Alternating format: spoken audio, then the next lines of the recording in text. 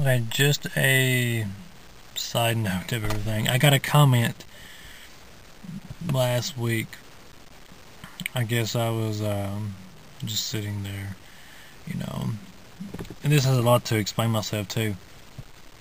Um, where my my hater video, some guy was like, "No offense or anything, are you a redneck?"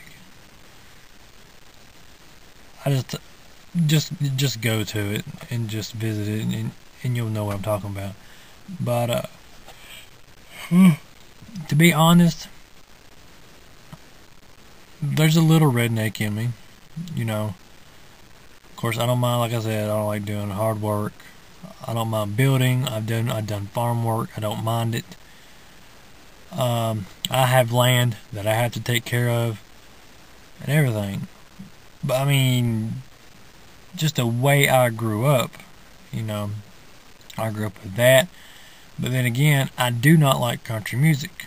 I absolutely hate country music, folk. No. I, I just I just disagree with it, you know. But uh, I can do the redneck things, but I hate country music. That's gonna make sense in a minute. Um, I like to hunt. I like to fish. I have killed. Well, I've only killed one deer because I've I've got busy, you know, and I haven't had much time to do anything over the years. It's, everything's just been constant, going and going. Uh, squirrels, turkey, snakes, uh, doves. Uh, I like to go coyote hunting. I've never been, but I want to. Um, what else is around here? Pretty much nothing. It's, it's it's pretty basic around here. It's not no big game, but we have some pretty good deer around here. You just gotta know where to go.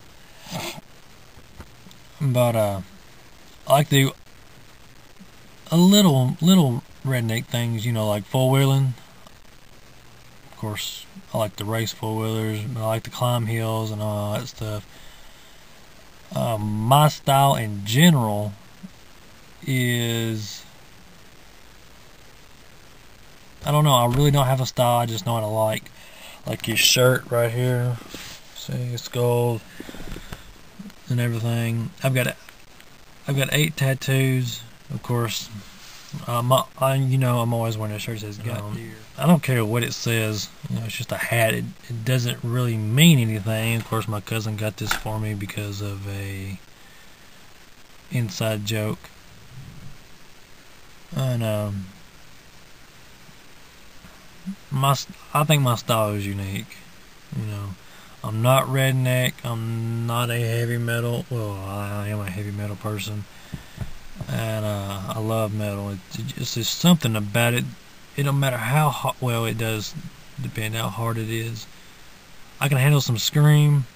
What is that called? Screamo. I can handle some of it. Um, some trip hop. Of course, that's a wholly different situation uh, Cannibal Corpse, Acid Bath, Five Finger Death Punch, OTEP, Cradle of Filth, shit, you know, shit like that that I can really handle and I have found and uh, I've got CDs that I just have to pop in and just listen to it. Yeah, it's been a long day. Um, yeah. Um, oh, what else? I'm not really. I'm not really that asshole as I put on to be. I can be an asshole when I have to be. You know, like, um, take an example for today. My grandmother, I just got through doing this like, I don't know, about an hour ago. I don't mind doing this. I don't mind helping people. I mean, if they need help, I'll help you know. But if they don't need help and they just want to just to be aggravated or aggravating, that causes a problem. But in the situation where my grandparents are not able to do much, I took her to the store, helped her with a few things because she can't do much lifting, and uh, helped put everything in the house, get everything situated. Then my grandfather I had to uh, help him walk. He's got a walker he has to walk around the house with, and uh, we walked from the house to almost to the mailbox, and that's a good uh, give or take 30 feet, you know. And I think he's in um, late 70s, I do believe. And um, he's he's had problems with, with his legs for a while. So we try to get him out when the weather's nice, where it's not too hot and not co- not too cold. And about this time, it's starting to get. Damn it! starting to get cold. Excuse me. Um. Starting to get cold and everything, and if it's if it's cold, it, it's hard on his bones. You know, if it's hot, he can't breathe. So you got to find a mixture of all the in betweens. So let's see where we're. At. Hold on. Okay, we got a little over seven and a half minutes. We're good, but uh, like I said, the reason we'll, we'll just get off and we're just gonna jump from here to here to here. So you're oh fuck, this guy is fucking boring. Get on with the show, you know. But uh, don't ever say but uh, um, but. Everything happens for a reason, and this is why who I am. I mean, and where where I'm at now, we're gonna jump off way off topic. And where I'm at now, I'm on my property, my land, and whatever. And I want to um, eventually start my own business. I'm not saying what it is. I know one or two of you know. Maybe. It's about two or three that know. So if you watch this, don't say nothing because I'll I'll eventually tell everyone. I know I keep on saying that, but I'm not finished, and I want everything to be right. And when everything goes right, I'll uh, I'll make a video about it, a small video about it, and uh, I have 45 seconds, maybe 20. You know, I don't want this to burst out just yet. Yes, it's a legal business. It's not illegal. So everything's fine. I just want to do this right. Oh, here's the kicker. Remember where I said I quit school? Okay. I'm starting my own business. Yeah. Very odd, ain't it? You remember I quit school? You remember when I hit them books? Yeah. You remember when I discovered the internet?